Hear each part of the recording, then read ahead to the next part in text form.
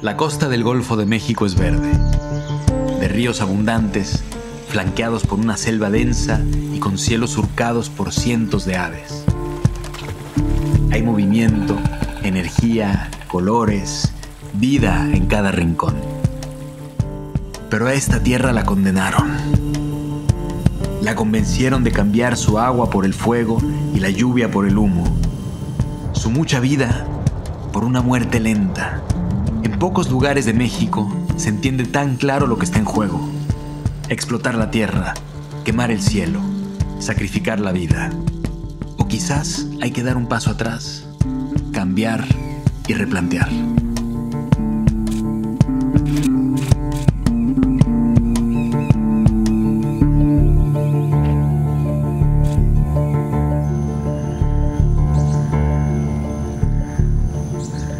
El petróleo ha significado para la región un cambio muy drástico en los modos de vida. Todo el modelo económico, desarrollo, el modelo educativo, las aspiraciones laborales se fueron hacia allá.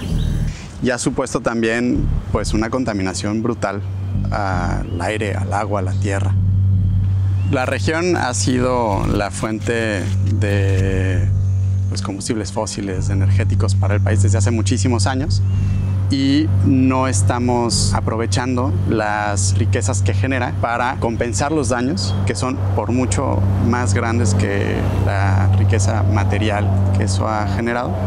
El problema de que si no hacemos algo el cambio climático nos va a afectar un montón, porque si el agua sigue subiendo, Tabasco es lo primero que se va al carajo del país y eso va a tener unas implicaciones sociales brutales porque se saliniza la tierra como le pasó a Río Playa y no solamente es que estés inundado, sino que ya no puedes plantar en la tierra que está alrededor. Eso es tremendo. Frente a eso hay que sacar el coraje de pensar entonces lo que sí podemos hacer. Para mí, Río Playa es un foco de esperanza. Lo que hicieron fue abrir una posibilidad enorme de hacer la vida en donde parecía que no podía haberla más.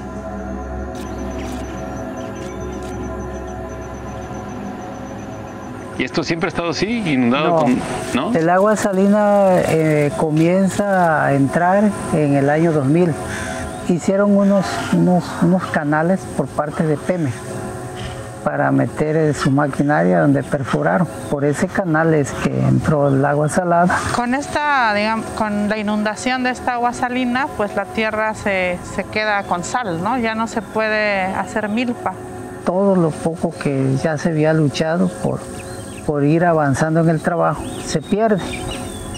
Llegaba a mi parcela siempre y solo se veía pues este sal sobre la tierra. Pero este también había agua en los arroyos.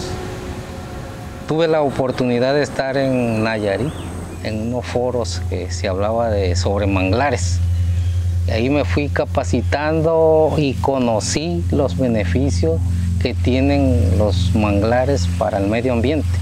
Entonces ahí se me ocurrió la idea ya de, sembrar mangle, porque el mangle pues sobrevive o vive precisamente en tierra salina.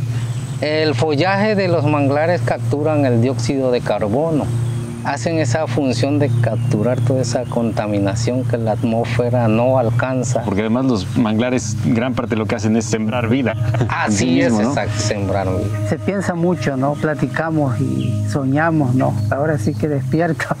Y este y soñamos que esto sea una zona de ecoturismo.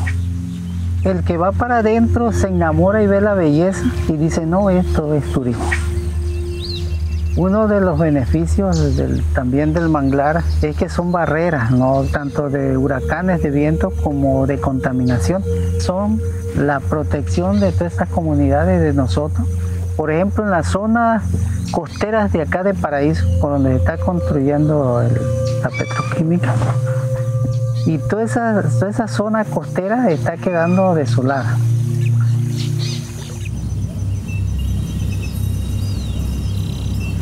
Y esto es lo que uno se imagina, ¿no? Cuando piensas en Tabasco te imaginas esto, ¿no? O sea, eh, Voluptuosidad de la ajá. naturaleza. de hecho Villahermosa creo que tiene el, el mote, ¿no? Eh, el Edén de México, ¿no? Vamos a Tabasco. A Tabasco, que Tabasco es un Edén. A Sí, Tabasco. Es un Edén, exacto. Y aquí pues el, lo que quizás es todo lo contrario a lo que uno se imagina de un Edén. Sí. Absolutamente todo lo contrario. Esta es la primera vez que estamos aquí y esto es donde se está construyendo la refinería de dos bocas. Esto, todo esto, es, no, se, no se alcanza a ver el final, de hecho, desde acá. Se ve puras máquinas, se ve eh, tierra completamente pues, troceada, este, una refinería Una que refinería. a todas luces está en una región que es pantanosa, que es un pantanal Claro. y que se va a hundir y que y ya rompió con el ecosistema natural de lo que había aquí. ¿A quién beneficia estos proyectos? ¿Realmente nos va a beneficiar a los mexicanos o le va a beneficiar a una pequeña élite? Este modelo de extracción de hidrocarburos, este modelo fósil, a quien ha beneficiado es al 1% de la población mundial. No necesitamos una refinería. Lo que necesitamos es pensar cómo vamos a salir del modelo fósil, ¿no? Tenemos que entender que el planeta tiene límites y que esta es nuestra única casa y que por lo tanto tenemos que atender a los límites de nuestra única casa.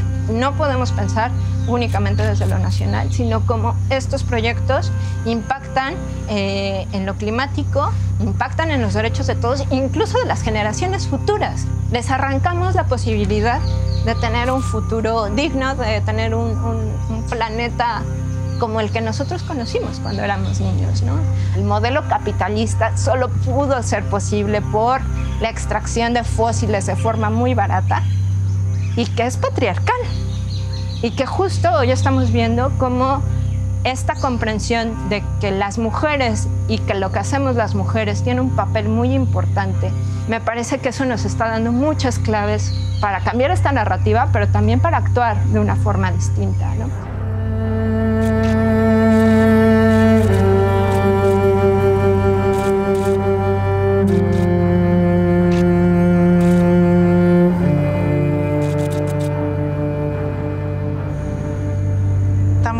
En este lugar que todavía tiene estas reminiscencias de algo que sucedió hace poco, ¿no? Así es, en octubre y noviembre del 2020.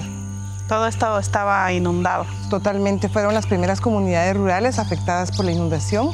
¿Hay una afectación diferenciada hacia las mujeres del cambio climático? Sea, las mujeres siempre van a estar preocupadas de colocar un plato de comida en la mesa. Entonces, sea el día con inundación, sea el día sin inundación, ellas siempre van a estar preocupadas de alimentar a la familia. En México podemos hablar de que únicamente un 2% de las mujeres rurales son dueñas de la tierra, tienen acceso y a ser dueñas de la tierra. Y eso, por más que lo hemos colocado en las diferentes agendas, no, no ha mejorado.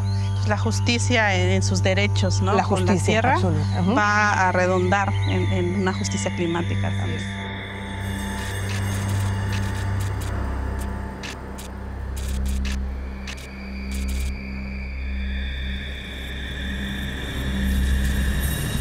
Y yo tuve un tiempo, cuando estaba yo más joven, quise trabajar allá, pero no me gustó el, el movimiento de ese lugar allá.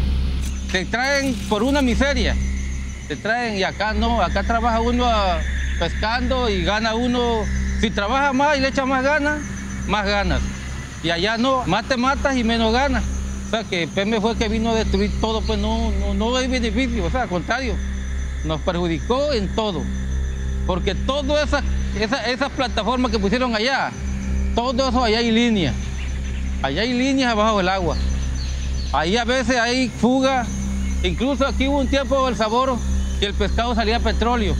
El pescado se alimenta del, del, suelo, o come la larva, come la mita. Por eso mismo el pescado agarra el sabor del, del agua, del lodo contaminado, de la tierra pues contaminada. La refinería más que la verdad es un, no nos beneficia en nada. Mira cómo está ahí a subir. Es un infierno ahí.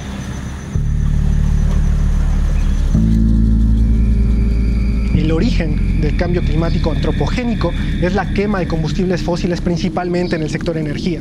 Si nosotros queremos mantener los ecosistemas funcionales y queremos mantener nuestra supervivencia como especie, tenemos que dejar de quemarlos, dejar de depender de estos sistemas fósiles centralizados, pues este modelo es una visión que excluye a la gente. que, donde, donde las personas eh, simplemente son consumidores. Entonces tú tienes, tú tienes una sola elección, es ¿pagas tu electricidad o no la pagas? Cuando nosotros hablamos de, de la descentralización, hablamos un modelo donde la gente y, las comunidades puedan ser las dueñas de, los medios de producción de energía. Las energías renovables te permiten algo que los fósiles y, la gran hidroeléctrica, por ejemplo, no te permiten, que es generar tú. Nunca vas a poder tener una carboeléctrica en tu casa, pero sí puedes tener eh, un sistema fotovoltaico que te permita cubrir eh, la demanda de, energía de, tu casa, ¿no? incluso poder cubrir la demanda de energía de una comunidad entera. ¿Qué mejor manera de asegurar eh, tu, energía que siendo tú el que la estás generando, ¿no? A través del sol.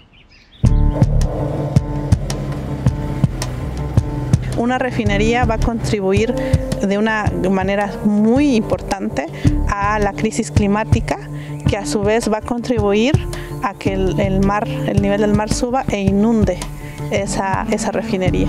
Entonces es una refinería que está trabajando por su propia destrucción los encuentros que tuvimos con, este, estas personas que están haciendo, sembrando mangle y que están esperanzador, que esas voces no se oyen. Estas energías limpias pueden estar gestionadas de otra manera que no sea o el capital o el Estado. No solo hay dos, hay más. Y eso es lo que tendríamos que ver para apostar por la vida en un tema estratégico y fundamental que articula gran parte de los fenómenos de crisis climática.